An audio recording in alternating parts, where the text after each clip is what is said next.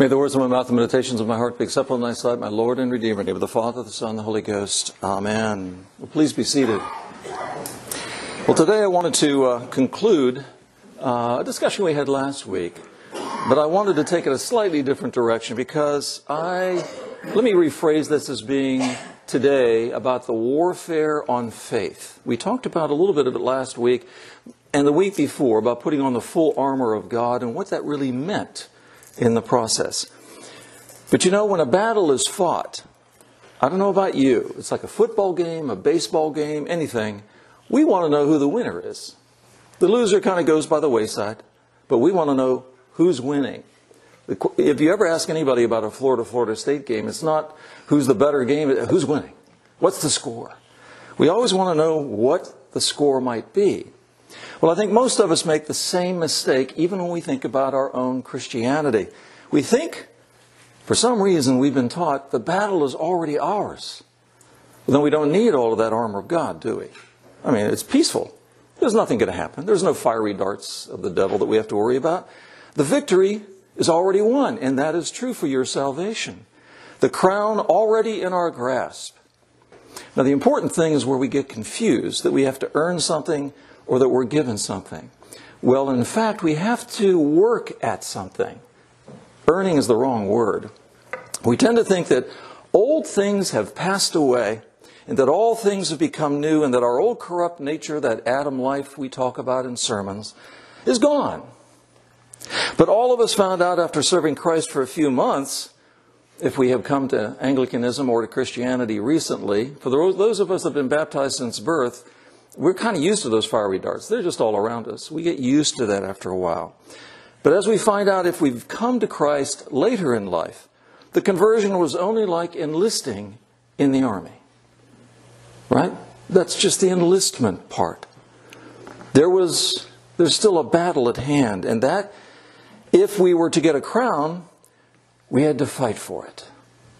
We had to defend it. We have to put on the armor of God. That's what that phraseology is all about. Salvation, it is true, is a gift. You don't have to earn salvation. It's as free as the air we breathe, and it always has been. To him that worketh not, though, but believeth, the phraseology in the New Testament. But on the other hand, if we're to gain a crown, we must put some work into that. We are the Christian soldiers. We are in the image of Jesus Christ. We don't just sit around drinking tea going, it's over and we're the winner. I think there's a lot of people in Washington, D.C. that might disagree with that, particularly since one party just passed a resolution celebrating non religious people and um, celebrating them as the force of the future of their particular party. Well, let me quote just a few phrases from 1 Corinthians. Quote, For other foundation can no man lay than that which is laid, which is Jesus Christ. But if any man buildeth on the foundation gold, silver, costly stones, wood, hay, stubble, each man's work shall be made manifest, if you build it on Jesus Christ. For the day shall declare it, because it is revealed in fire, and the fire itself shall prove each man's work, of what sort it is. If a man's work shall abide, which he built thereon, he shall receive a reward. If any man's work shall be burned, he shall suffer loss, but he himself shall be saved, yet so as through fire. We worry so much about the fact that, well, why is God, why do bad things happen to good people? Remember my old phrase? Why do any good things happen to any of us? Forget the bad things. We don't deserve any good things. We just pick out the bad things because, of course, we're like God. And we only deserve good things. That is not what the New Testament promised. It is like this when a man or woman enters the army, they're a member of the army the moment you enlist, because they let you know that, don't they? For those of you remember your induction into the military, I don't care which service it was, there's a guy called a DI, and he reminds you all during your training that you are now an enlisted person. And actually, you're not even a person anymore. You're scum, you're a worm, all of that sort of thing that you get used to while you're in there. He's just, that person is just a member. As a man or woman who has been in the army, for example, 10 or 20 years, you're the same. The new guy, the guy that's been there 10 years, you are enlisted members of the Army or Navy or whatever. But enlisting is one thing, and participating in the battle is a wholly different thing. Young converts, if you will, and I've seen this, are just like those that just enlisted. They are flying in the clouds, and they should be. And then something happens and they fall headlong into the earth because they don't realize that that's not the battle. That's just the enlistment. It is silly for any man to attempt to fight on his own. That's why we have, the church always talks about the ecclesia, coming together in the ecclesia. That is the strength that we have. The world, the flesh, the devil are too much for you and for me alone. But if we are linked to Christ by faith, remember the armor of God.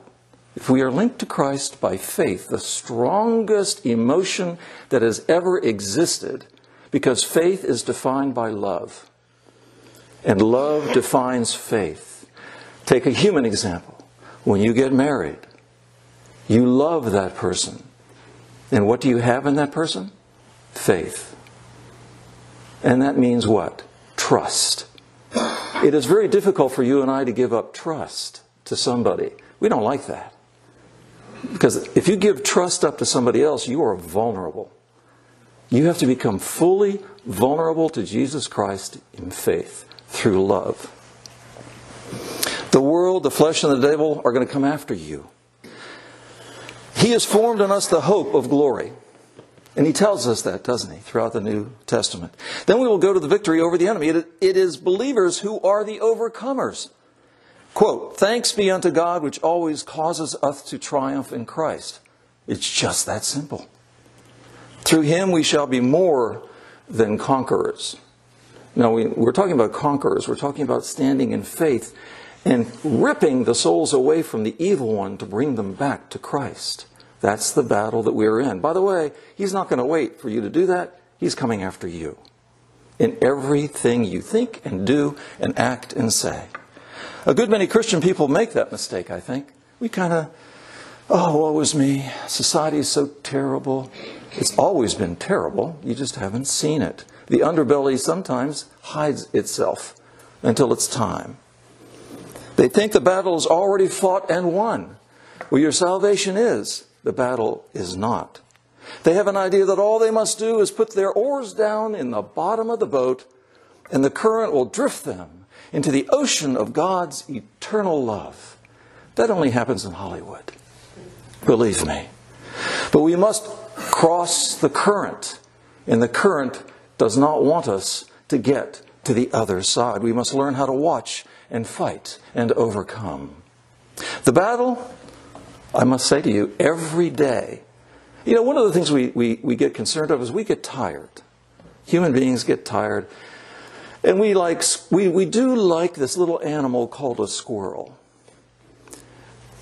Because every time we turn around go, squirrel, and you're trying to something, squirrel, oh, I'll do this now. Well, squirrel, oh, but I forgot this over here. And pretty soon you got five things sitting out there and you go, oh, I didn't do the first one yet.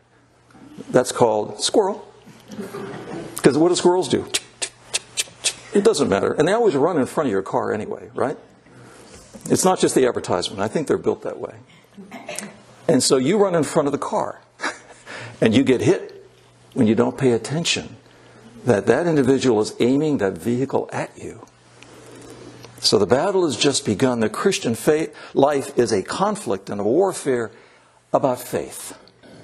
Not, not human beating each other up, but about faith. And the quicker we find that out, the better we are. There is not a blessing in this world that God has not linked himself to. That's bad English, but anyway. All the great and higher blessings God associates with himself. When God and man work together, then it is that victory that is on the horizon. When God and man work against each other, destruction always follows. There's an old story. If you might remember, remember the individual Frederick Douglass, way, way back when. The great slave speaker, a black man. Uh, uh, read his works. They're just erudite, they're beautiful. And once in a sad speech, when things looked very dark for his race, this is what Frederick Douglass actually said. He said, quote, The white man is against us. Governments are against us. The spirit of the time is against us. I see no hope for our race. I am full of sadness. See what happens when you separate yourself from Christ in the victory? You become, you crash to earth. Just then, just then, as the chronicle goes, an old African woman rose slowly, because she was quite old, in the audience and said, Frederick, is God dead? At that point, Frederick broke down and cried because he realized that he had separated himself from God. And this little old lady said, Frederick, have you forgotten who's in charge? Is God dead? Well, the fiercest attacks are made. Think about all those pictures that you and I like to watch. You know, the shields and swords and stuff, and it's movies, and they're attacking, and you, you know, it's it's it's all this panoply of things going on. But what they say there is true. The fiercest attacks are always made on the strongest forts. The fiercest attacks are always made on the strongest forts. In the fiercer the battle, the young, young believer is called on to wage. And when I say young believer, I'm talking about us old Q-tips. You know, we, we have to worry about that as well. The sure evidence it is of the work of the Holy Spirit in his heart. The stronger the outside world attacks you, the more we know that your heart is with Christ. Just because you love Christ doesn't mean you're going to have an easy time. It's the reverse of that. Accept that. The world is not Christ's place, it is the devil's place. God will not desert you, He won't. In this time of need, any more than he deserted his people of old when they were hard pressed by their, by their enemies. This brings me to the fourth verse of the fourth chapter of the same epistle. Ye are of God, little children, and I've overcome them, because greater is he that is in you, in you than he that is in the world. Greater is Christ that is in you than the devil who is in the world. We tend to forget that. Oh, it's just so overwhelming. That's because you want it to be. You're giving up. You said, well, we're not going to win, so let's just go ahead and lose. I've always wondered if I got into a fight, let's say back in the Middle Ages, and I was getting tired, would I just drop my sword and say, okay, go ahead and kill me, I'm tired? That's pretty much what a Christian does when they, they drop their armor and they are disemboweled of their Christianity. The only man that ever conquered the world, the only man that ever conquered the world was Christ. So don't give it a try. It's not going to work. When he shouted on the cross, It is finished, it was the shout of a conqueror. It was the guy that won the battle.